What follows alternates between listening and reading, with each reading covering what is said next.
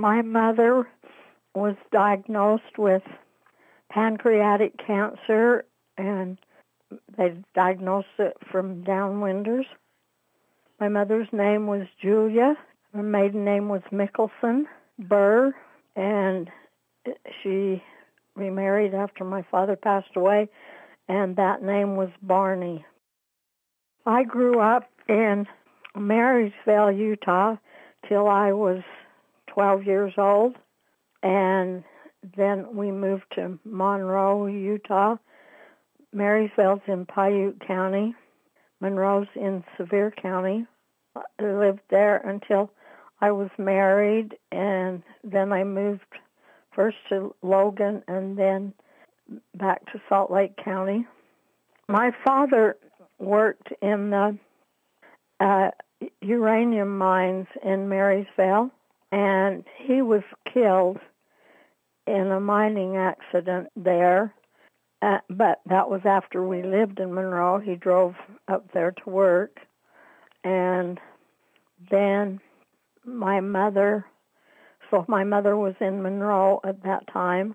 Uh, at that point in time, after she was a widow, she and a neighbor, kitty corner across the road, used to visit back and forth. And that point in time, she didn't have a dryer and always hung clothes out on the line.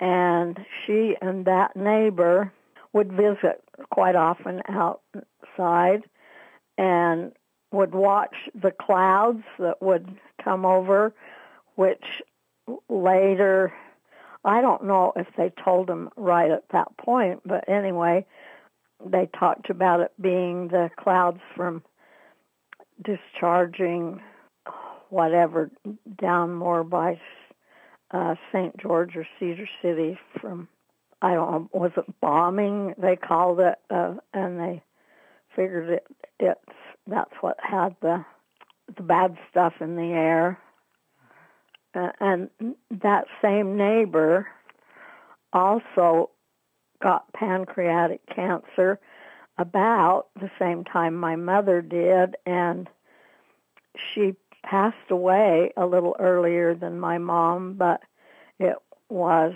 from, you know, the pancreatic cancer and from like my, the doctor diagnosed my mom with that it was caused from the downwinders,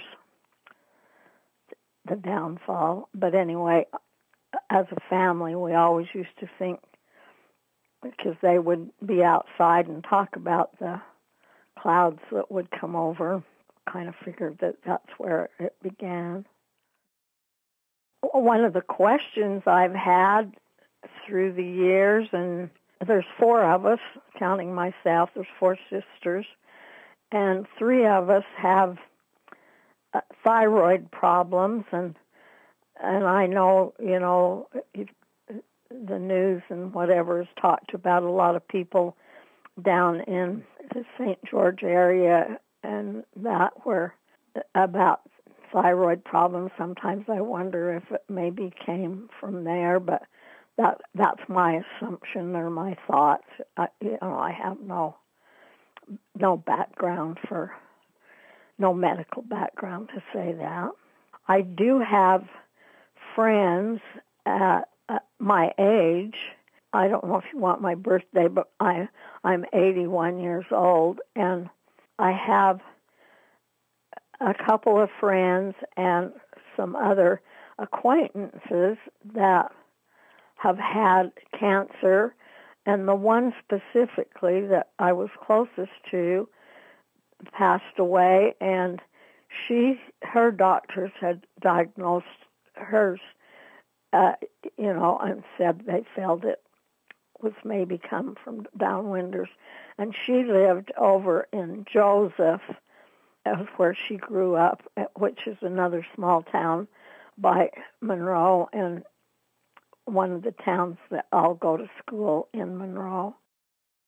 My sisters and I have talked about our dad working in the uranium mines there in Marysville and there were so many of those people that died early with cancer, and the feeling was it was from the uranium there in Marysville, and that our father, if it hadn't have been for the accident, you know, that might have happened to him to have cancer a little earlier in his life, meaning like even before 80, because my mom, you know, went that long. But anyway, that's something we've talked about because so many of the people in Marysville died that way and people he worked with in the mine.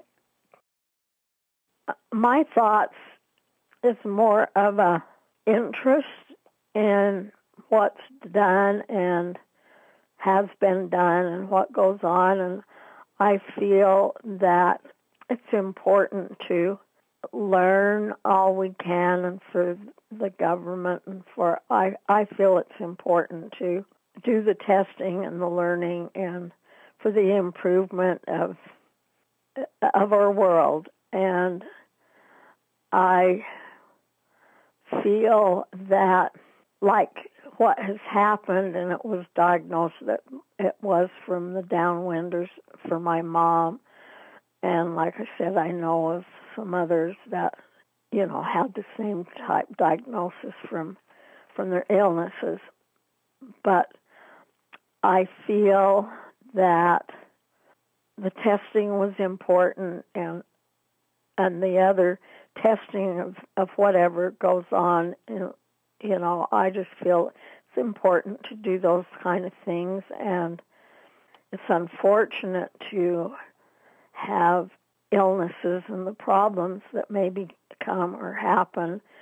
But I just feel it's part of life and what what needs to go on. And we're all going to die sometime. And and I don't have ill feelings about the fact that if that's what caused my mom's death, there would be another reason. like for instance, my father was an accidental death and and he died, you know, much younger than she did.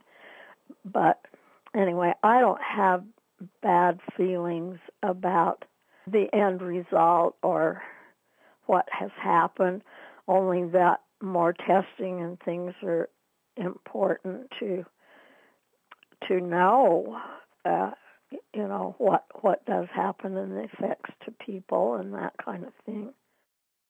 Like I mentioned, I sometimes wonder a little bit about the thyroid thing in my family and knowing that that's been a thing mentioned about people in other areas and whether it has or might have anything to do with the fact of where we lived during our growing up years and you know the effect from the air so to speak. I'm just interested in in in what what is learned from uh, investigating these kind of things is, is my interest